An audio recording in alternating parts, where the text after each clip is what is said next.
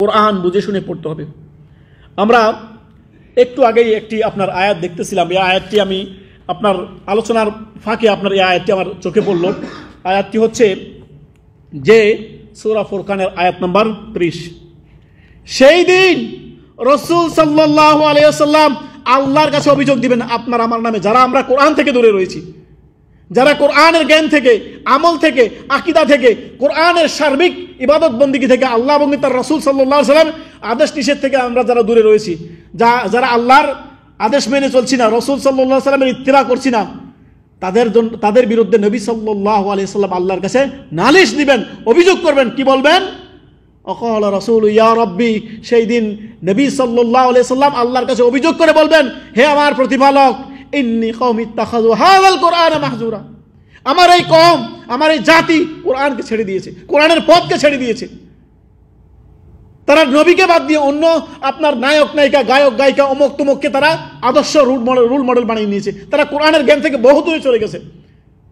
তারা আজ কোরআন নিয়ে কথা দাব্বর করে না। আল্লাহ তালা কতবার করে একটু আগে আমরা বললাম, আল্লাহ বলছেন ফাদ কুরুনি আদ কুরুকুম অস্করুরি ওলা ত্যাগ ফুরুন তোমরা আমাকে স্মরণ করো, আমিও তোমাদেরকে স্মরণে রাখব। আমিও তোমাদেরকে স্মরণ করব। অস্করুলি তোমরা আমার শুক্রিয়া আদায় করো। ওলা ত্যাগ ফুরুন কি দিয়ে আপনি আল্লাহ রবের শুক্রিয়া আদায় করবেন? বলেন।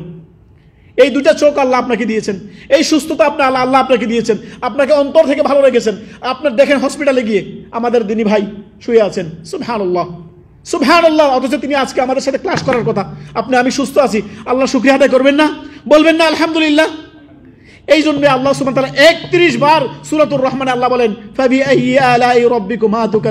হে মানুষ, হে জিন, বলো তোমরা, আল্লাহর কোন কোন নিয়ামতকে তোমরা অস্বীকার করবে? বলো তুমি, রবের কোন কোন নিয়ামতকে অস্বীকার করবে?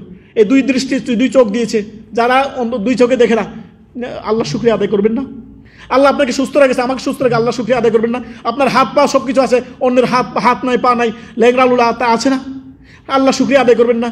অন্য কারও ব্লাড ক্যান্সার কারণ এই তো সে বহু বড় বড় দুরারোগ্য রোগে সে ভুগতেছে। আপনি আল্লাহ শুক্রিয়া আদায় করবেন না। তাহলে আপনি এইটাই তো কথা। আল্লাহ বলছেন যে আযকুরুকুম ওয়াশকুরুলি ওয়ালা তাকফুরুন। তোমরা আমাকে স্মরণ করো, আমিও তোমাদেরকে স্মরণ করব। তুমি আমার অকৃতজ্ঞ হও না, আমার নাফরমানি করো না, কুফরি করো না আমার সাথে, আমার শুক্রিয়া আদায় করো। শুক্রিয়া আদায় করো, শুক্রিয়া আদায় করলে আমি তোমাদেরকে বাড়িয়ে দিব। আমরা কি কখনো চিন্তা করেছি? নবী সাল্লাল্লাহু